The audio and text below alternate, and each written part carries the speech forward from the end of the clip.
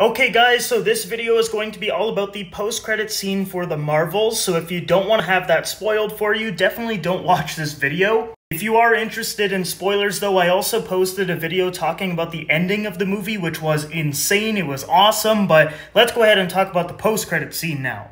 So in the movie, Nick Fury has a tablet which has a whole bunch of information on heroes in the 616 universe, and uh, Kamala Khan gets her hands on it, and she starts looking for young heroes to team up with. So she finds Kate Bishop's name, she tracks her down. You can see in the photo here from the post-credit scene, there's some archery uh, targets in the back. Kamala Khan comes in with the classic Marvel uh, undercover look with the hat. She probably had some glasses on too, but regardless, she finds Kate Bishop and she starts talking to her and then brings up the idea of teaming up. And what does that mean? Well, that probably means Young Avengers.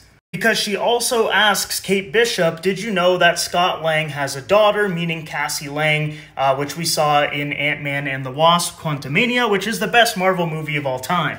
So I think that post-credit scene clearly sets up the young Avengers for probably Kang Dynasty, I would assume. Like, I don't think they're going to get their own movie. Um, I definitely think this is going to be uh, a team that we're going to see in Kang Dynasty, and I definitely think they're going to lose because all of the leaks are saying that the heroes are going to lose in Kang Dynasty and then have to assemble the multiversal Avengers to go after the Beyonder in Secret Wars. Because if you look at that roster, even this roster, they're not going to win against a Council of Kangs. I just don't see it happening.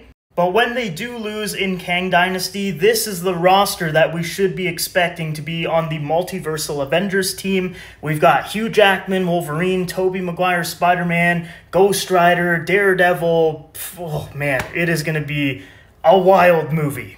It's just nice that everything is starting to tie together again because that was something that made the first three phases of the MCU so famous and so popular and so successful. We haven't really been getting that in phase four and now we're in phase five, but it looks like phase five is going to start connecting things. Like we've got Kamala Khan meeting Kate Bishop, probably assembling the Young Avengers, then it's going to lead into Kang Dynasty. We've got X Men now. Everything is coming together. So yeah, let me know down below in the comments what you think about this post-credit scene. Do you like it? Do you not? Let me know. And also, let me know if you guys are checking out the Marvels this weekend.